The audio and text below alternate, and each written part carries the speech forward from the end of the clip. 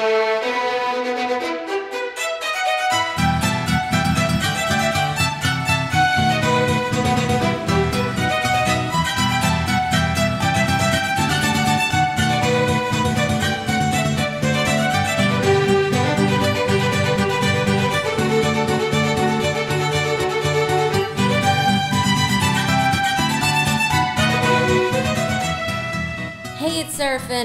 here I am to talk about tangzhong again.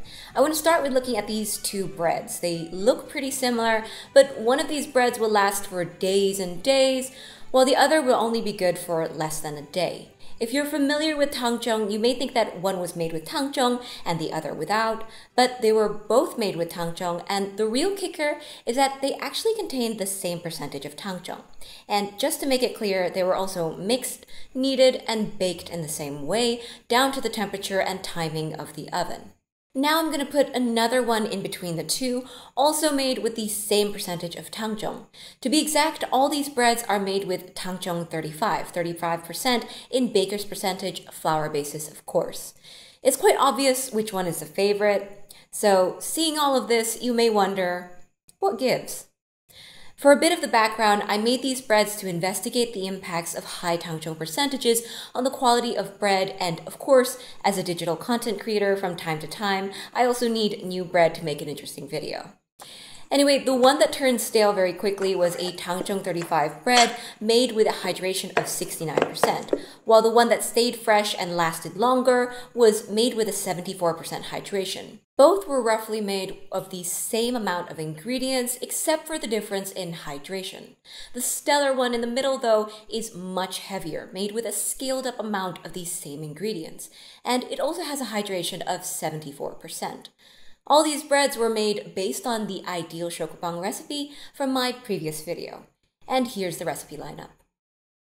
The fact that bread incorporating tangzhong above 30% with 60% hydration would go stale faster compared to lower percentages of tangzhong is actually well documented in this thesis on tangzhong done in 2004 by Ke Yuwen, with the experiment done under the principle that the total weight of all doughs is the same, using the standard optimized straight dough bread making method, she stated, and I quote and translate freely, when the added amount exceeds 30%, although the bread does have the effect of softening the bread texture on the first day of storage, the staling speed of the bread will accelerate as the storage time increases.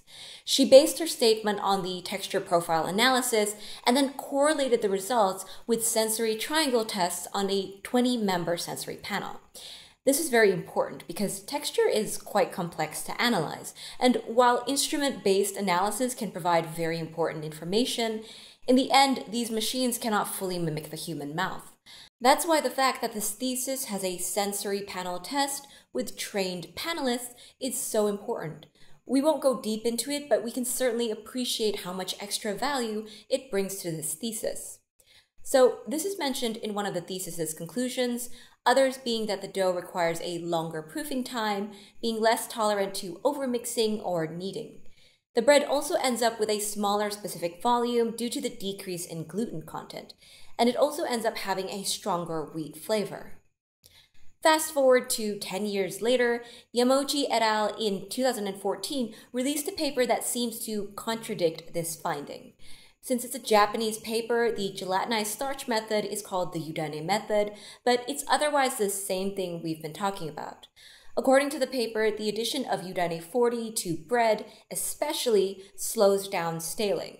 And while the two papers do agree on many aspects such as longer proofing times, lower specific volumes, etc., their data, especially on the hardness of the breads over several days, are quite different.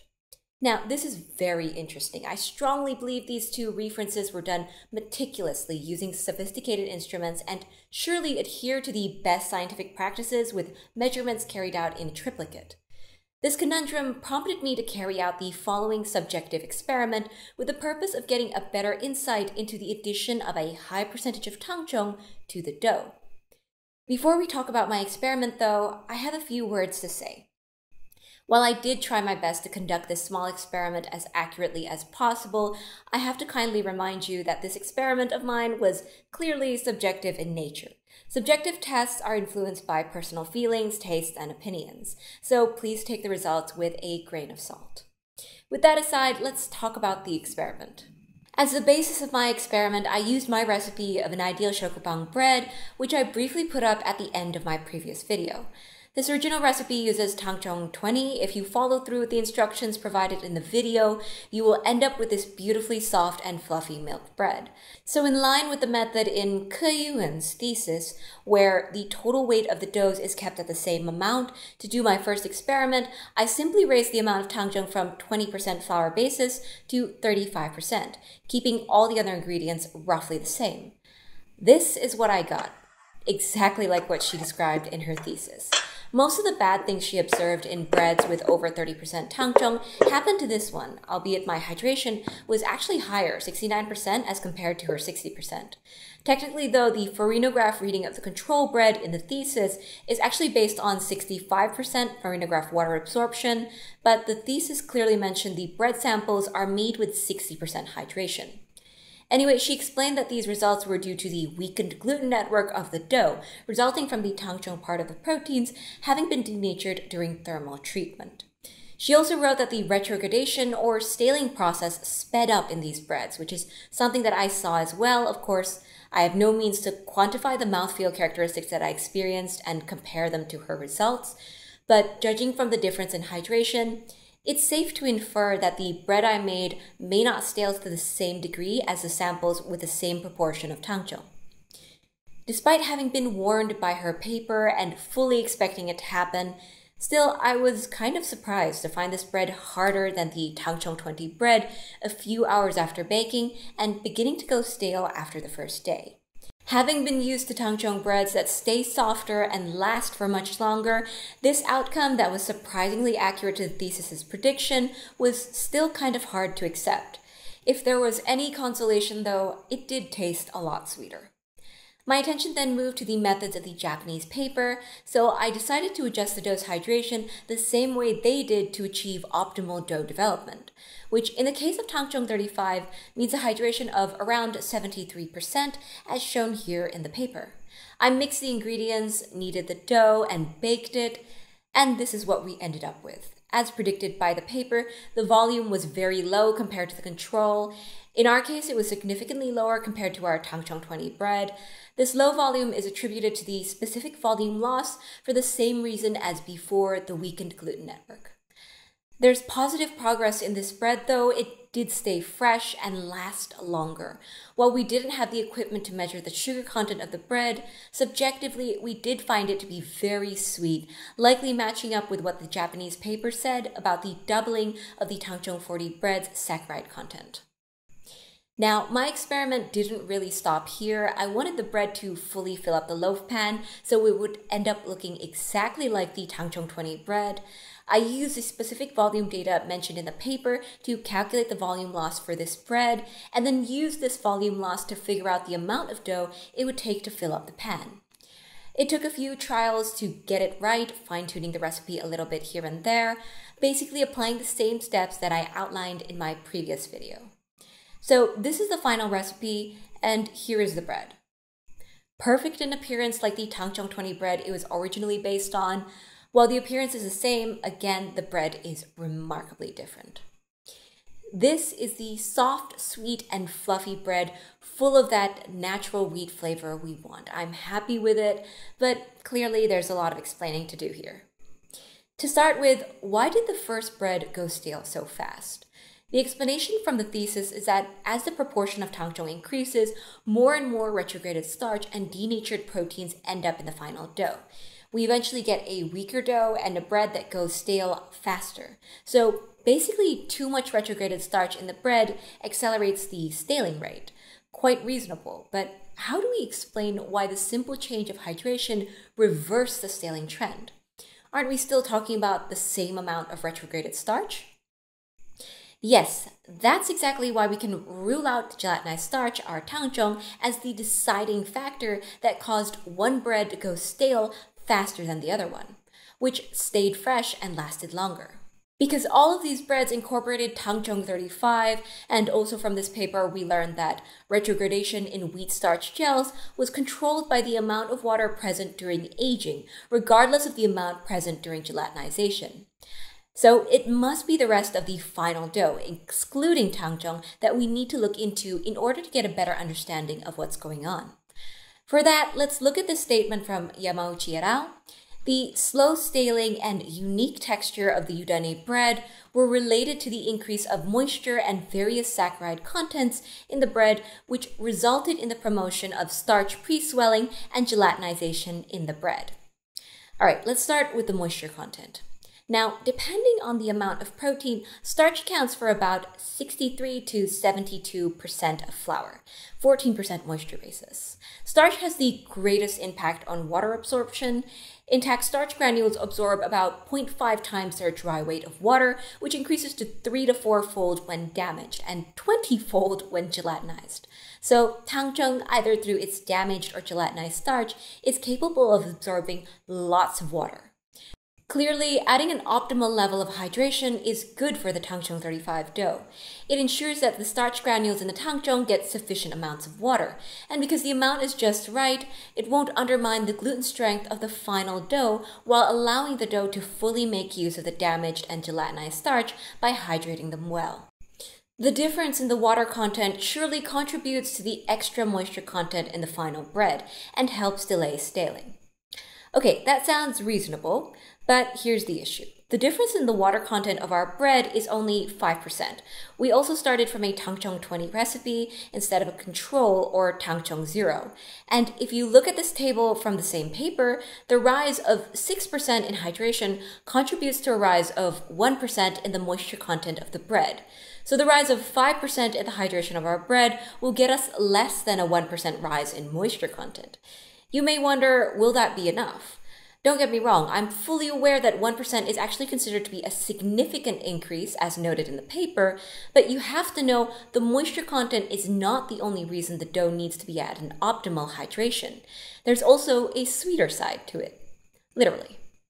Now, to explain this, you really need to know about some of the most underrated players in bread dough the enzymes. Flour is full of complex sugars, long chains of polysaccharides made of smaller saccharides or simpler sugars. If these complex sugars were to stay this way, then bread would be a lot more flavorless. They're too complex for us to taste. That's part of why eating raw flour isn't exactly pleasant.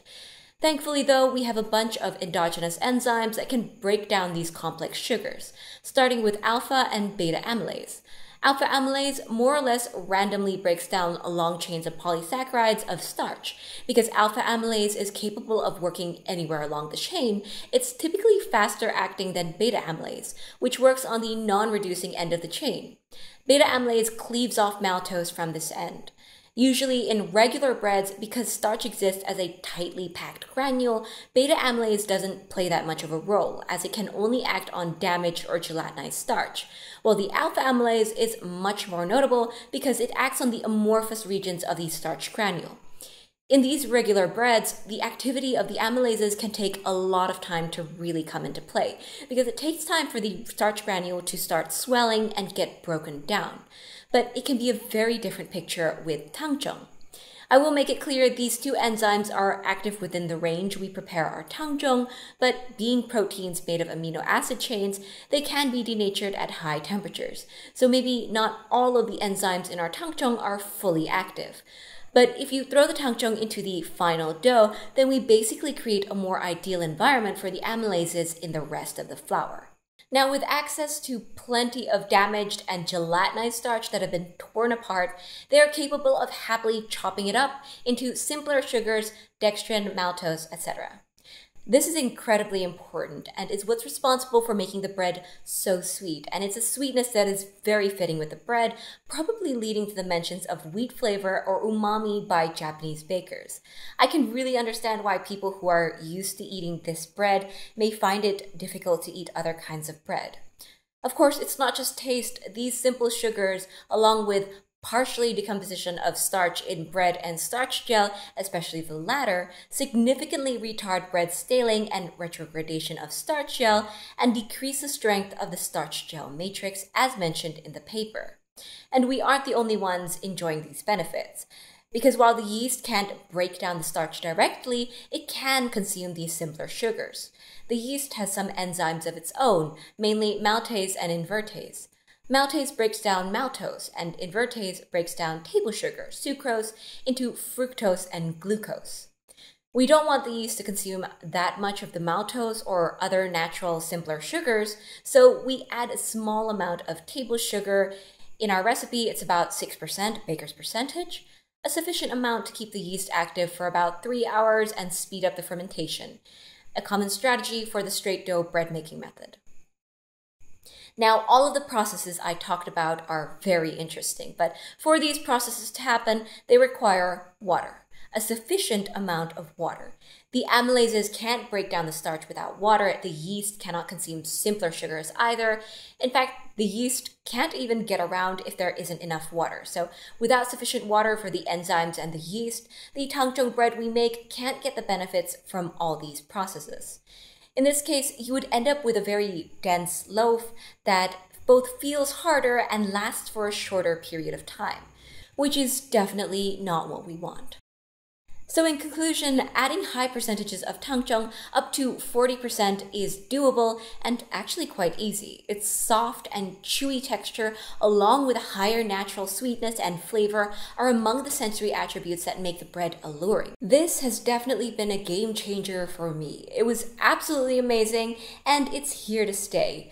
To make this bread well, this is what you need to know. The more tangzhong you add, the more capable the bread is of both retaining moisture and increasing various saccharide contents that slow down staling. But here's the catch. This happens if and only if you provide it with sufficient amounts of water to achieve optimal dough development. If you deprive the bread of the required amount of water needed for its dough, you won't be able to get the most out of a tangzhong bread, especially if the proportion of tangzhong is very high. In that case, the quality of the bread can be seriously compromised due to the lower specific volume as a direct result of the weaker gluten network. On the other hand, if you excessively add water beyond the optimal amount required for the percentage of tangzhong you use, due to the denatured protein in the tangzhong part of the flour being unable to take part in the overall development of the gluten network, you may end up with a very sticky dough that's almost impossible to handle. Other than these, there's nothing complex about the process of making this amazing bread. And that's it for today. Thank you for watching and Bye.